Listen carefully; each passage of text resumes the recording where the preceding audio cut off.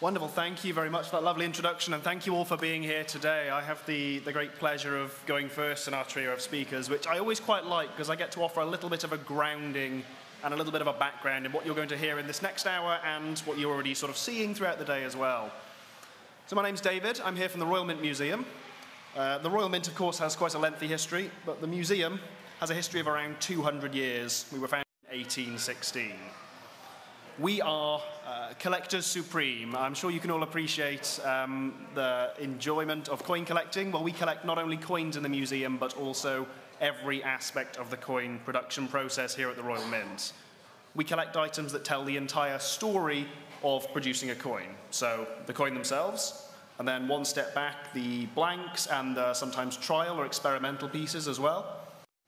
We collect the tools that are used to strike the coins and indeed the the earlier parts of the tools that are used to make the dies.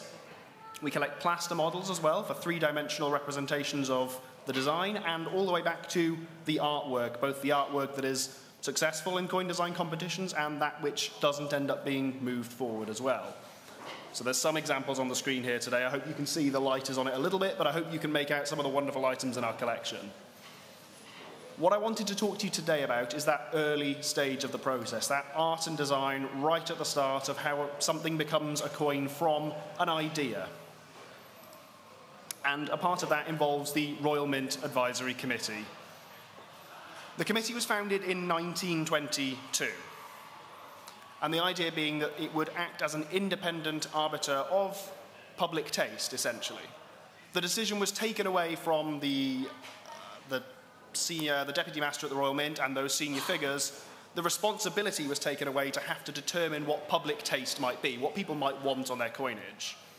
It was thought that that might be better handled by experts, by artists, by art historians, numismatists as well. And so the Royal Mint Advisory Committee was then founded with experts from, as you might be able to make out in some of the text here, places like the Department of Coins and Medals at the British Museum, representatives from the, the V&A, representatives, uh, a personal representative of the King as well, who of course gets quite a significant say in the design. From the early 1950s as well, of course, the late Duke of Edinburgh, Prince Philip, headed up the committee as president. This was a fantastic boon for the Royal Mint Advisory Committee having somebody there who had such a personal and informal link with the monarch to comment upon designs was incredibly useful.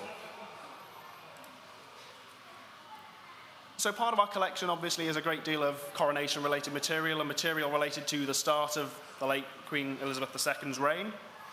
And so what I'll do now is I'll take you through a little bit in our collection that relates to that and relates to some of the coin design as well. What you can see here are some designs that are taken from the minutes of the Royal Mint Advisory Committee. Designs that were under consideration, both for the coinage reverses of Queen Elizabeth and for the 1953 coronation crown. Part of what we do at the Royal Mint Museum is archiving materials like this, the, uh, the minutes of the Royal Mint Advisory Committee, both historically and present day as well. I'm quite privileged in that I not only get to look back several hundred years in my job, but I also get to look a few years forward as we fulfill those sort of administrative functions of the committee. So, a little bit of a sneak peek into what's coming as well. What often eludes me is what's happening right now. You can see here some of the designs, and it's tough to make out on the screen, but also when you see them up close in person as well, um, precisely the differences between some of the designs that you see here, because that's the role of the Royal Mint Advisory Committee, really. It's looking into those minute differences, not just what should be on a coin A or B, but whether a particular line and an expression changes how a face looks, whether a slight degree of rotation changes the feel of the design on the coin, changes the impression that you get of the coin. And you can see some of the text in the paragraph here, taken from those minutes, talks about how the committee deliberated whether bits of designs could be combined as well, whether perhaps we could have the, um, the orientation of the horse in Mr. Ledward's submission number eight, and if we could perhaps have the orientation of the monarch in number nine, and could something be merged together from that? Because that is how that design process comes together, has done historically, and still to an extent does today, but I will leave the, the modern stuff to my, my uh, subsequent speakers. The portrait as well, the Mary Gillick portrait, which became the first definitive coinage portrait of Queen Elizabeth II, went through that same process at the committee, and we have in the collection a great wealth of material of designs, of sketches, of plaster models, as minute changes were made throughout the design. When it came down to it, the competition really was between Mary Gillick and Cecil Thomas, who had quite a, a considerable advantage over Mrs. Gillick in terms of a back catalogue of coin design. And there was quite a lot of back and forth in the minutes of the Royal Mint Advisory Committee, and quite a lot of back and forth in which both artists were invited to submit and resubmit sculptures and designs so that the design could be worked up into something that was just right. What you see here on the screen is one of the plaster models which features a penciled in inscription around the edge, part of that process where we have some of the design finished up and some of the design, the inscription being added on at a later date, being modified, being tweaked. It was, as you can see at the very bottom, ultimately the opinion of the committee that the final model should be, uh, well, the nose should be treated more delicately, but also that the effigy should generally be strengthened. This turned out to be one of the, uh, one of the strengths and one of the reasons we really remember the Gillick portrait of Queen Elizabeth for its delicate nature, its soft nature. It was distinct following several monarchs previous that had had quite large looming portraits that filled the field of the coin. But it's not only the Royal Mint Advisory Committee that have opinions on coins, of course, and this is really the purpose of the committee, to act, as I said, as the arbiters of public taste. What you see here, you might be able to make out the handwriting, are some letters from the National Archives submitted in the 1950s to the Mint.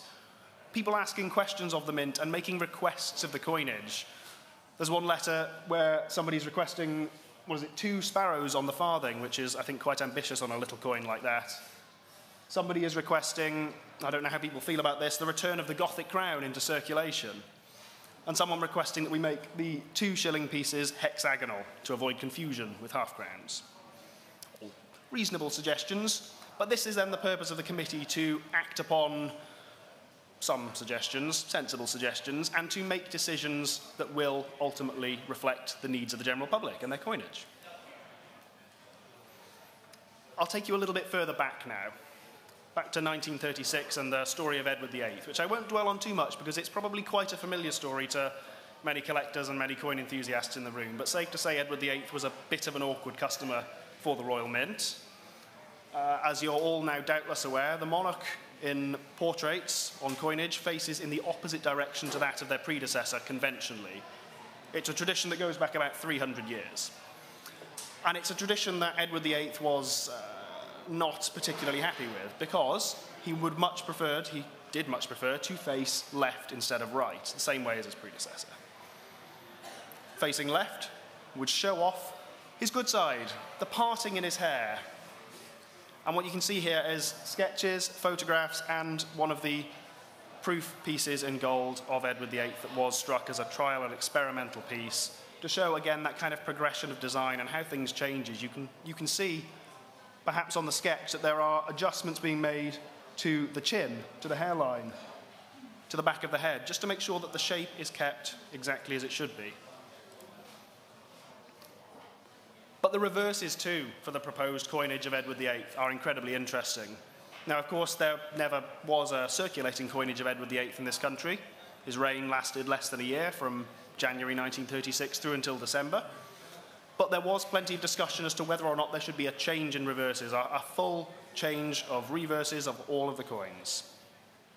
And, of course, a great number of designs were proposed and went through the Royal Mint Advisory Committee. Artists designed sets of coins. Artists submitted these designs. There was uh, an invitation to a number of prominent artists to submit designs. And I've shown some of them on the slide here, focusing on the crowns and the half crowns so you can make out a little bit of the detail. Harold Wilson Parker, I quite like these designs. They, he submitted uh, a set of designs that encompassed the values and the embodiment of the crown. So the idea was the crown piece here would demonstrate a sort of a giving tribute and making offering to the crown. The half crown here represented peace, through the dove of peace, through the olive branches, and then it goes on down the denominations with different representations of ideals of the crown. George Kruger Gray, some of those at the bottom, submitted a much more traditional set of designs, heraldic. Uh, a variation on the sort of heraldry that has been seen on the coins for a very long time. Much more traditional, uh, actually ended up being favoured by the Royal Mint Advisory Committee at that time. Perhaps a little bit of a backlash to the 1935 Jubilee crown, that rocking horse, really avant garde design. Perhaps a bit of a backlash to that, moving back to the traditional. And I've included on the right as well a design from Edmund Dulac, which I really like because it is a frighteningly literal interpretation of a seahorse. Half horse, half fish or aquatic creature of some kind. But you can see the sort of interesting designs that were considered of all different types for the proposed reverses of Edward VIII. So all of these sorts of designs and more form part of the Royal Mint Museum collection. A part of what we do is recording and telling the story of everything we've done here for hundreds of years and will continue to do thereafter. Our original remit when being set up was to record a series of designs, record coins, record everything we do so that artists and engravers can draw from the past and bring that into the future. And on that spirit, I thought I'd finish with something a little bit more uh, well known and a little bit more recent, which is the Kew Gardens 50p. there are a great many designs that went through the Royal Mint Advisory Committee for this coin. But you can see here, even on the design that really ended up being worked into the finished product, how much detail goes into changing very small things about the coin and refining the design as it goes along. The model on the left here, of course, is quite busy. There's a lot more um, foliage, there's a lot more leaves in the background.